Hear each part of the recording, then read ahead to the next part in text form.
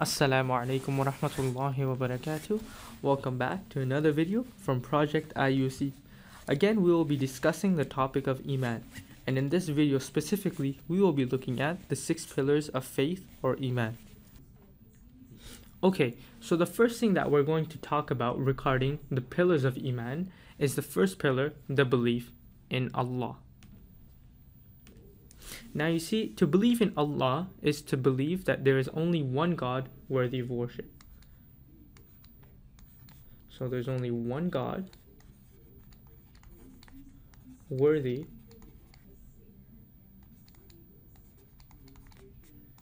of worship.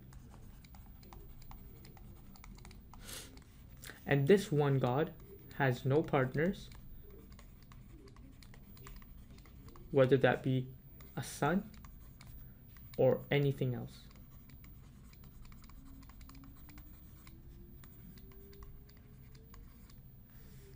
So this concept is known as Tawheed. Now Tawheed linguistically in English translates to the unification unification or oneness of something.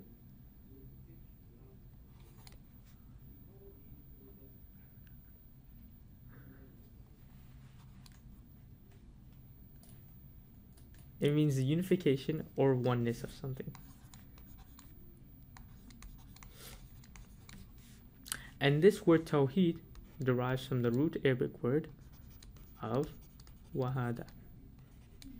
Now this word means to unite. So all in all, belief in Allah is to have Tawheed. Now we're going to go ahead and break this word Tawheed down further into three separate categories.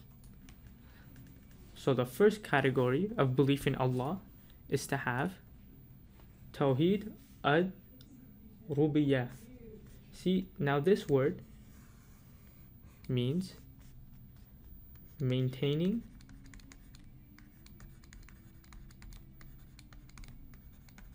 maintaining the unity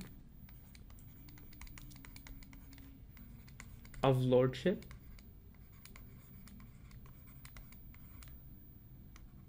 so tawhid ar-rububiyyah means to maintain the unity of lordship and it's upholding in beliefs the sovereignty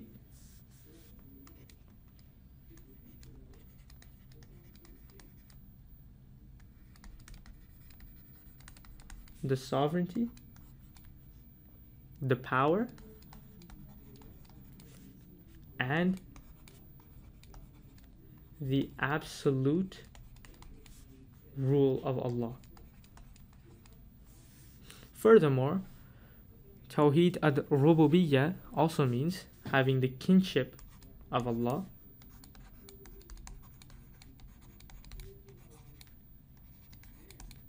Of Allah. And it being as the one true God, one true God over all the creations of the heavens and the earth. And Tawheed al-Rububiyyah is to testify testify and to submit to these qualities and knowing that every single one of these elements belong only to Allah. Now the next category that we're going to discuss from the three categories of Tawheed is Tawheed al-Asma wa Sifat. So Tawheed al-Asma wa Sifat. And this means maintaining maintaining the unity of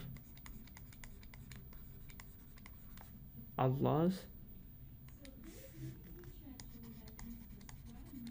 names and attributes. So Tawheed al-Asma wa Sifat means maintaining the unity of Allah's names and attributes. Now one asks, what are these names and attributes? Well, these are the 99 names by which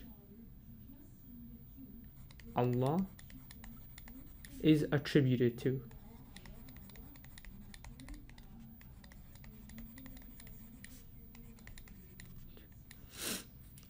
So these every single one of these 99 names has a specific attribute and each of these attributes has a specific ter- has a specific characteristic.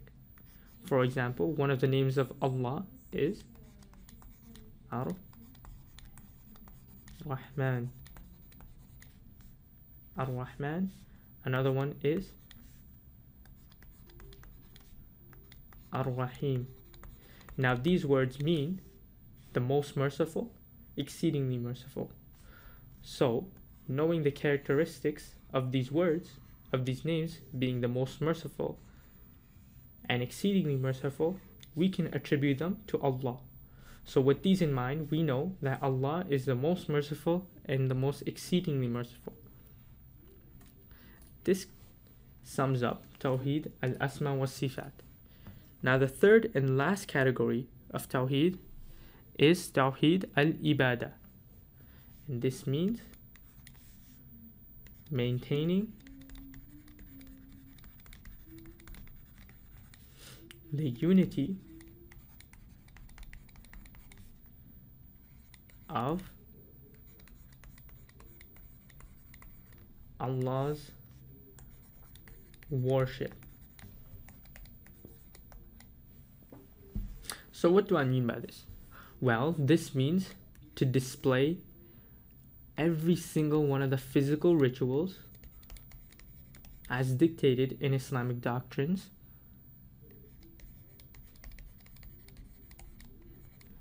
attributing and displaying every single one of the physical rituals only and directly to Allah and carrying them out only for the worship of Allah.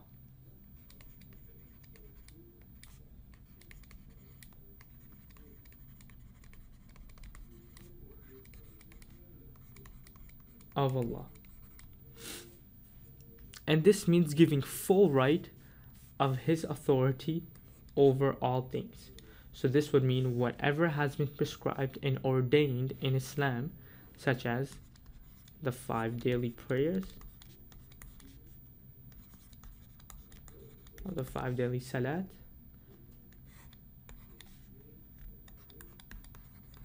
the fasting during the holy month of Ramadan, the Hajj, that we perform, the charity and zakat that we give, attributing every single one of these actions and giving full right of every single one of these actions only to Allah. So, this, my brothers and sisters, sums up the three categories of Tawheed. The next thing that we're going to look at regarding the six pillars of faith is to have belief in the angels. You see, the angels are a creation of Allah. Creation of Allah. And this creation is unlike any other. And as Allah subhanahu wa ta'ala explains in the Quran, they are created from light or nur in Arabic. And these angels were created before humans, before human beings. And the only purpose of these angels is to worship and obey the commandments the commands of Allah subhanahu wa ta'ala.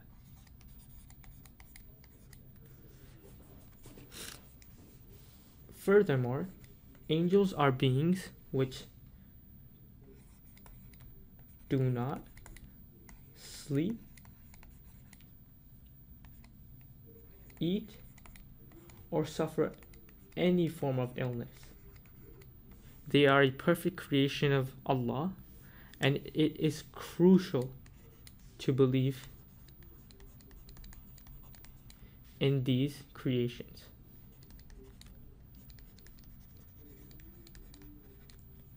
As they keep a record of our deeds. Some of the angels' duties, as categorized as specific some of the angels' duties as categorized as specific angels, such as Jibreel alayhi salam or Jibril, as mentioned in the previous videos. Alayhi salam have specific jobs. And we know that Jibril alayhi salam's job was to convey the message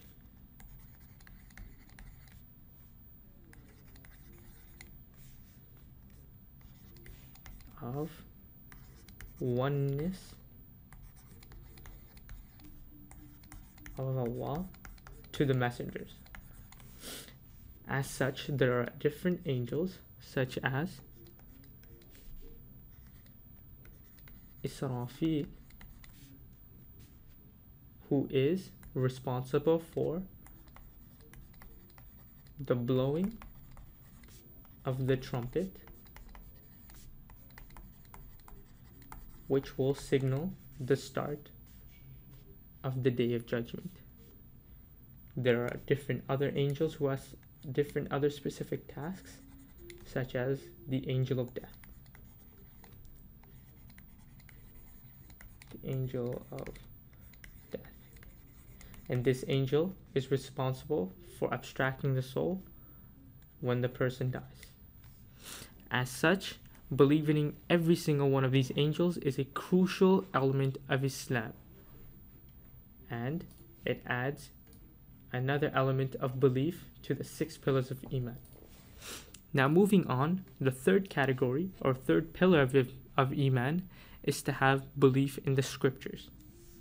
You see, Allah subhanahu wa ta'ala has revealed books to His messengers as a form of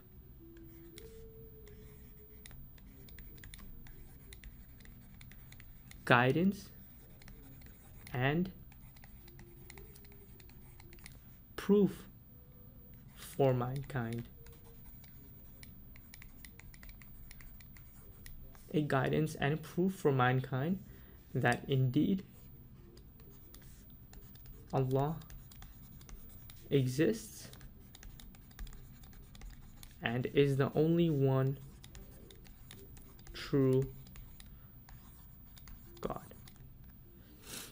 Among these books is, of course, the magnificent and holy Quran, which was revealed to our beloved Prophet Muhammad, peace be upon him.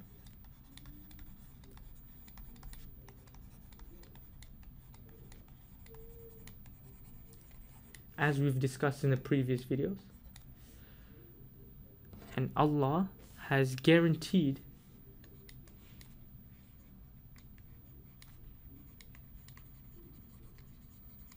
guaranteed the protection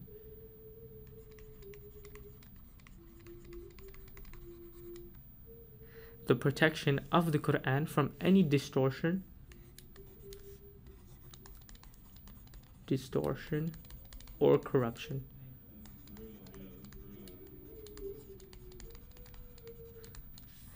The books that were sent and known to man or the different books that were sent and known to the prophets are as first one being the scrolls or in Arabic the suhuf which was sent to our beloved Prophet Ibrahim alayhi salam. The second one being the song.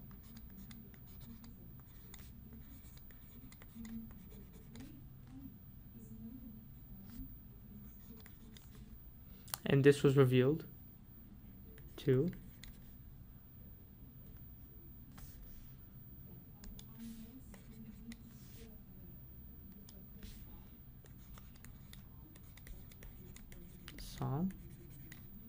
which was revealed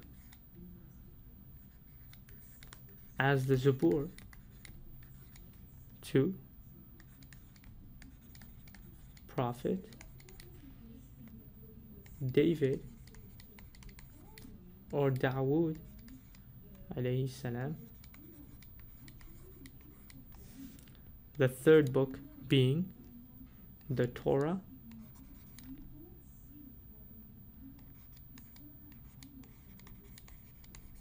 or the Torah which was sent to Prophet Moses or Musa, peace be upon him. The fourth one being the gospel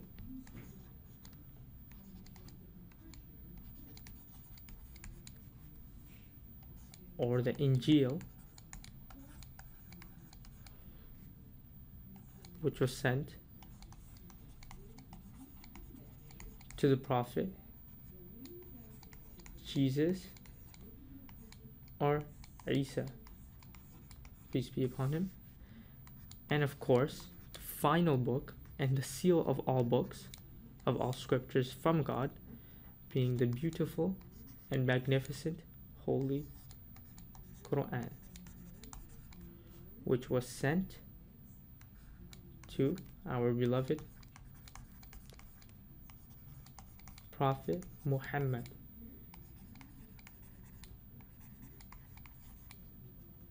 Peace be upon him.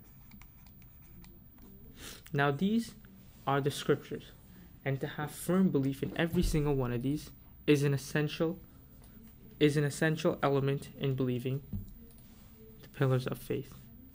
Muslims believe in all of these books and believe that every single one of them were revealed to the messengers, peace be upon them. However, as Muslims, we only follow the Holy Quran. As the other books, the wordings were lost to history and to man. The Quran, as it's the final revelation, is preserved in a way that no other book is preserved. That is why it aims to implement the rulings of God into our daily lives.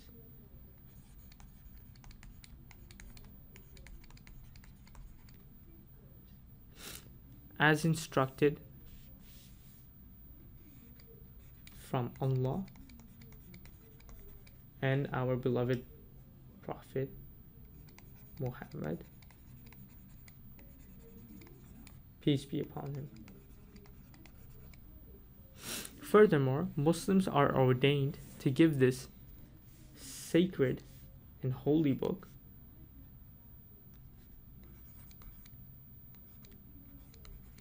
sacred and holy book the respect that it deserves.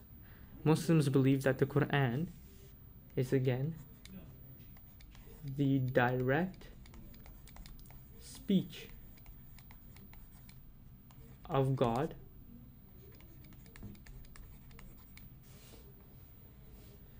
revealing what he wants for humanity and then transmitting that message directly to the mighty angel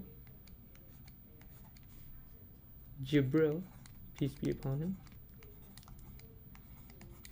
and then that message being translated and transmitted to our beloved Prophet Muhammad sallallahu alaihi wasallam.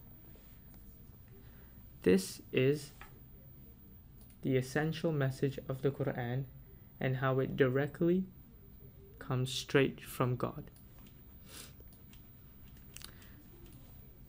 With that being said, our fourth category of faith is to have believe or belief in the messenger. Muslims have to believe in every single prophet, every prophet that has been sent down from Allah subhanahu wa ta'ala. And following their shared message excuse me their shared message of strict monotheistic theistic the strict monotheistic principle of there being no God but Allah. This is the shared and essential message that every single one of the messengers were sent down to give to humanity. Whether that be again Jesus, peace be upon him, Abraham, Muhammad, peace be upon him, or any other mes- messenger. Now, there were many prophets that were sent down to reveal this message. And again, the five most important messengers and the most mightiest messengers of Allah subhanahu wa ta'ala are. Nuh alayhi salam. Or Noah. Moses. Alayhi salam. Or Musa. Isa alayhi salam. Or Jesus peace be upon him. Ibrahim alayhi salam.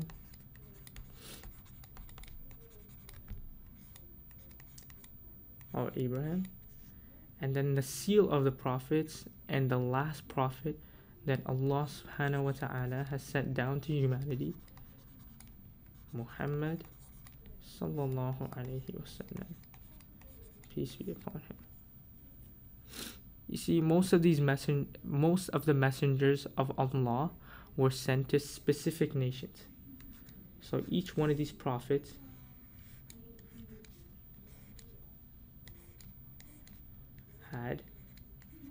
a specific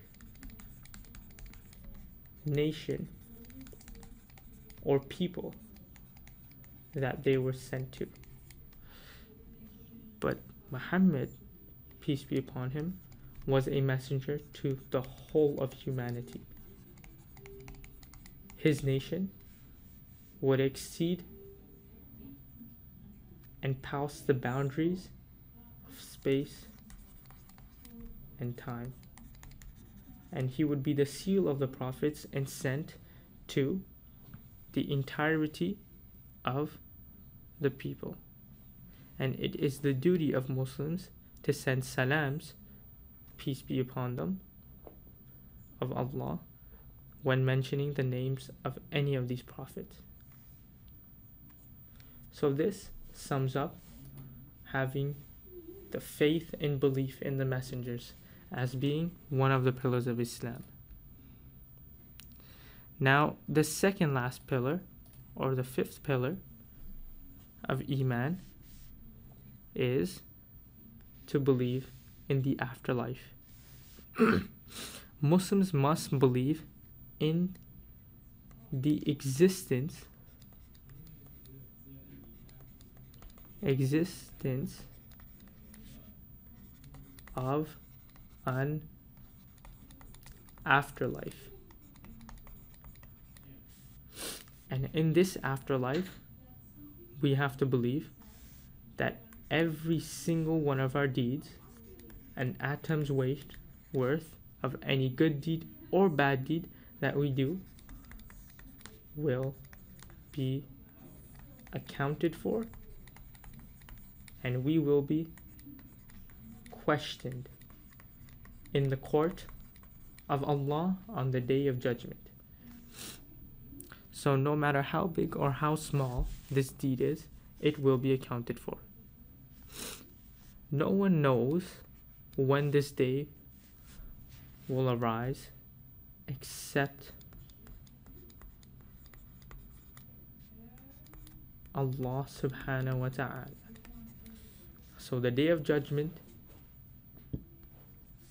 will come upon a time when no person has any knowledge of when its arrival will come.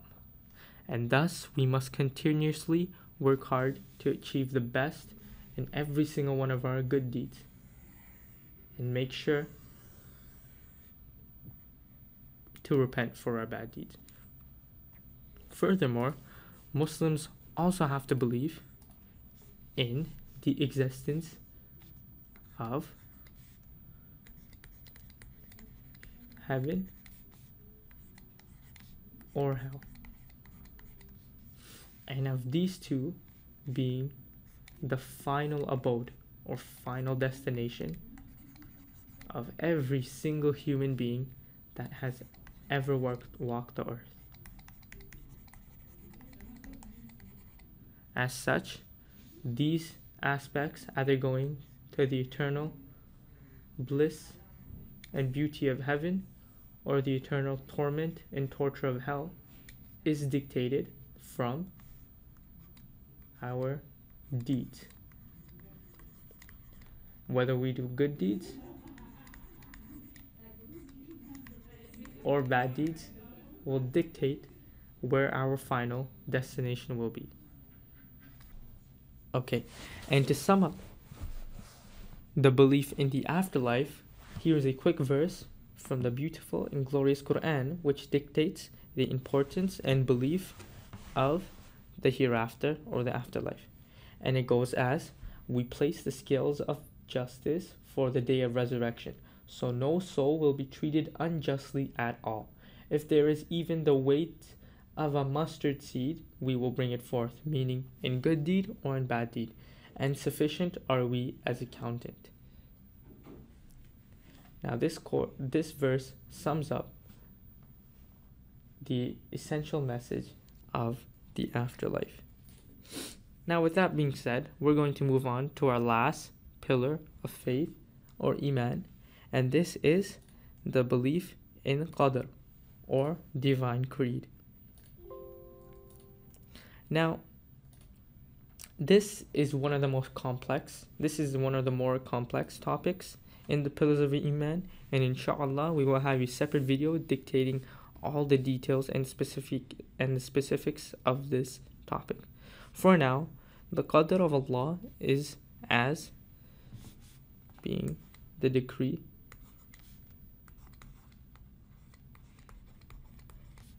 of Allah. And this means that everything that happens in the world or happens to a person happens for a reason and is all due to the plan and decree of Allah.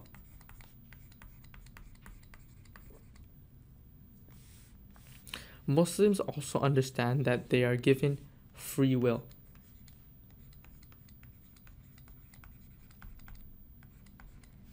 Free will and have the ability to distinguish between what is good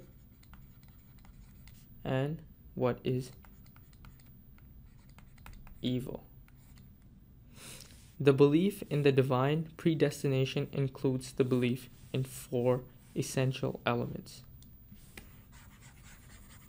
These four essential elements are first, knowing that Allah subhanahu wa ta'ala alone has created everything every star, every solar system, every plant, tree is due to the creation of Allah.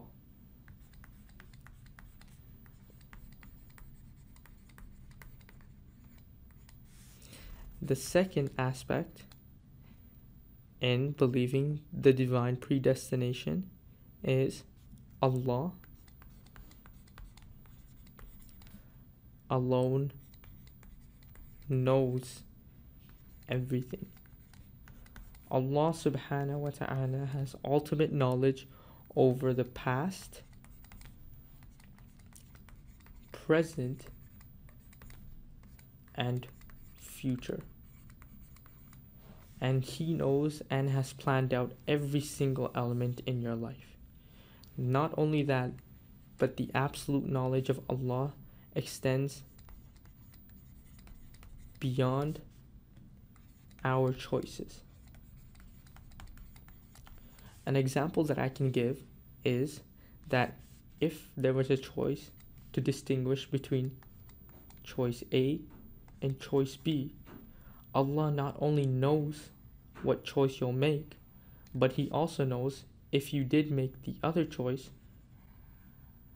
what will be the series of events that will unfold throughout your life. So, Allah has knowledge of what choice you will make, but if you were not to make it and make the other choice, He knows everything that will happen and everything that would be different in your life. This is the absolute absolute knowledge that Allah subhanahu wa ta'ala possesses. Now the third thing in accordance to predestination is that there is a record of everything that has happened and will happen. Whether that be again in the past,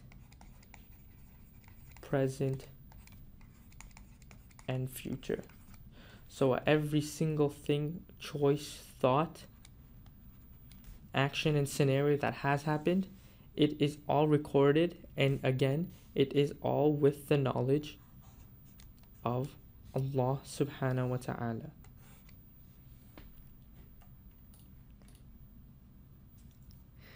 And the last thing that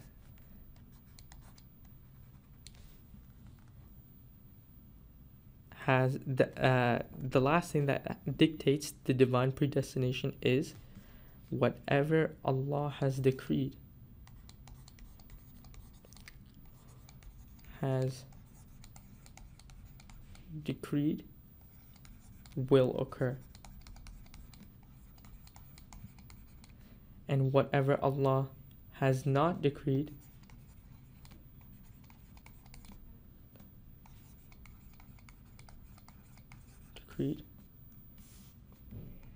will not occur. This is the qadr of Allah and essentially the key elements that dictate the divine decree of Allah. Now, a quick example that the scholars of Islam use to determine and mention what the decree of Allah is, they say it is like a straight line, and this straight line is what Allah has decreed. And is the plan of Allah. Whether the people symbolized as these dots know of it or not. Whatever Allah has decreed, that will be the outcome of every single action, every single scenario in the world. So, again, my brothers and sisters, this sums up the six pillars of faith or Iman. And thank you all so much for tuning in for another video. This has been Project IUC. Assalamu alaikum wa rahmatullahi wa barakatuh.